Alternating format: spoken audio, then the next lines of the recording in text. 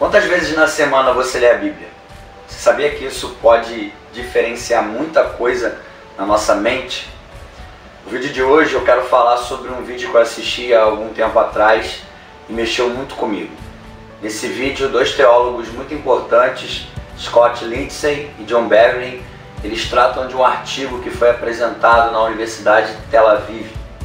Esse artigo fala da importância da leitura bíblica e de como a leitura bíblica influencia na mente do homem, na mente humana. Nesse estudo, eles apresentam alguns resultados referentes à proporção que a pessoa lê a Bíblia durante a semana. Esse estudo ele fala sobre a quantidade de leitura bíblica, entre uma vez na semana, duas vezes na semana, três vezes na semana e quem lê a Bíblia quatro vezes na semana. E quando chegamos nas pessoas que leram quatro vezes, há uma surpresa dentro desse estudo, ele é surpreendente. Eu não vou falar muito, eu vou fazer o seguinte: logo após a vinheta aí, eu vou estar soltando esse vídeo para você assistir. É um vídeo de dois minutos, onde eles apresentam dados é, é, importantes, impressionantes, que mostram a importância da leitura bíblica. Como a leitura bíblica mexe com o cérebro, com a mente humana. Então, roda a vinheta aí e logo após você vai assistir esse vídeo.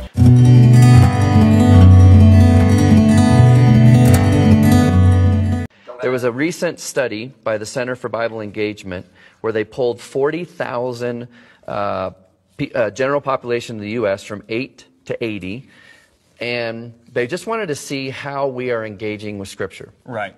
And they discovered something that actually became kind of the profound discovery of the entire study. It, they weren't even looking for this, and this is kind of became the highlight of the study. Right. Um, when we're in the scripture one time a week, and that could be church on Sunday, that's pastor saying you open your Bible, we hear the message, one time a week had negligible effect on some key areas of your life. So i am going to spell that out more here in a moment. Two times a week, negligible effect. Now, at three times a week, there was a blip on the map, like there was a heartbeat. Something happened, again, a heartbeat. Okay. But here was the profound discovery. When we're in the scripture four times a week, it literally spikes off the chart. You would expect that it'd be one, two, th- I mean, there'd be a gradual incline Right. on the effect and impact that would have in your life, but it was literally one, two, three, four, something radically happens. Okay, you got my curiosity. To this what, extent. What kind of behavior is being affected? Feeling lonely drops 30%. Wow. Ang- four times a week in the four Bible. times a week in the Bible. Okay. Anger issues drop 32%. Uh, bitterness in relationships, marriage, a relationship with your kids, and so on, drops 40%. Alcoholism drops 57%.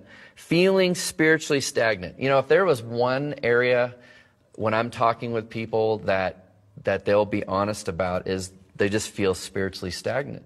Ask them the question, how much time are you spending in scripture? If they're in the scripture four times a week or more, it drops 60%. Wow.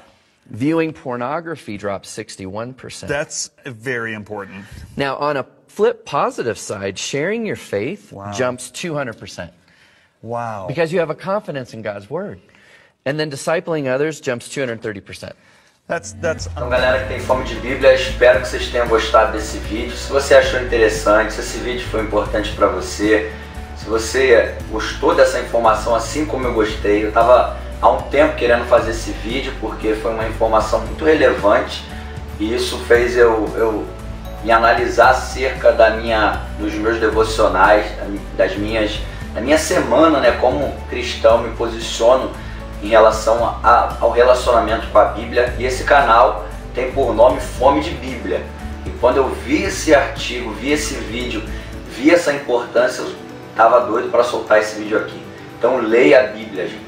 Leia a Bíblia. Separe um tempo na semana de leitura bíblica que você viu no vídeo, como isso influencia a nossa mente, como coisas que a gente é bom- bombardeado, perde a força quando a gente tem relacionamento com a palavra de Deus, tá bom? Antes de ir, não se esqueça, rapidinho, se inscreve no canal, você que está aqui pela primeira vez, ativa as notificações aí, o sininho, deixa o like, comenta. Você que já é inscrito, se puder, me ajuda compartilhando esse vídeo manda para alguém, fala, assiste esse vídeo aí, veja a importância de ler a Bíblia, porque eu creio que esse vídeo vai ser edificante para muitas pessoas, tá bom? Fica com Deus, Deus abençoe, até o próximo vídeo. Não se esqueça, tenha sempre fome de Bíblia. Pai, gente, fui.